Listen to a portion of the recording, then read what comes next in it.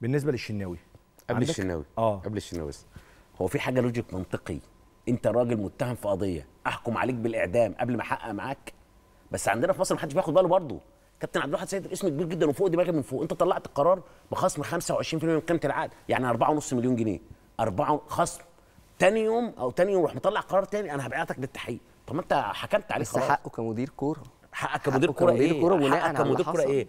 اعاقب وبعد كده احقق ولا احقق وبعد كده اعاقب لا أحقق وبعد كده أعاقب. حلو. أنت عاقبت بتجيب هتحقق معاه على إيه؟ خلاص أنا عاقبت. أنت إذا كنت على فكرة ممكن تقول إيه؟ كالعادة إحنا كصحفيين.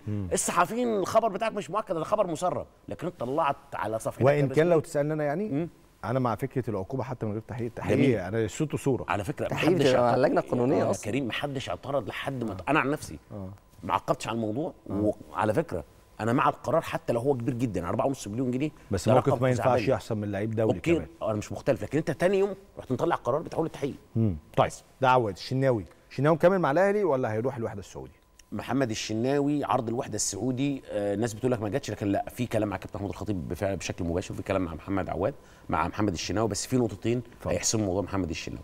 أول حاجة النادي الوحدة السعودي لديه مشكلة قانونية أو مشكلة مالية. لم يحصل على شهادة الكفاءة المالية لأن عنده مشكلة مع اتنين لعيبة كانوا عنده ولازم يخلص فلوسهم عشان ياخد اللعب النقطة الثانية إن محمد الشناوي طلب من مسؤول الوحدة هولد على الموضوع لحد ماتش الأهلي والزمالك.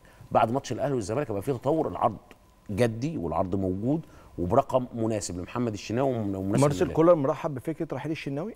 مارسيل كولر مش قصة مرحب. مش لن يمانع رحيل بص يا الشناوي؟ كريم كنت عندك هنا من 3 4 شهور وقلت لك النادي الأهلي عنده ست حراس مرمى. آه. ما فيش حد فيهم أقل من محمد صحيح. الشناوي.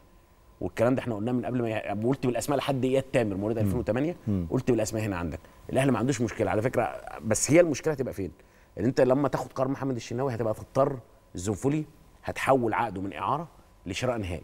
الزنفولي هتحول من للداخليه كمان النقطة الثانية حمزة علاء مش هتوافق له عن يمشي. فهي هم دول النقطتين لو الشناوي خد قرار النقطتين دول هيتعملوا في الأهلي. حمزة علاء كان المفروض عايز يطلع إعارة هتقول له لا مش هتطلع والزنفولي هتحول عقده للبيع نهائي.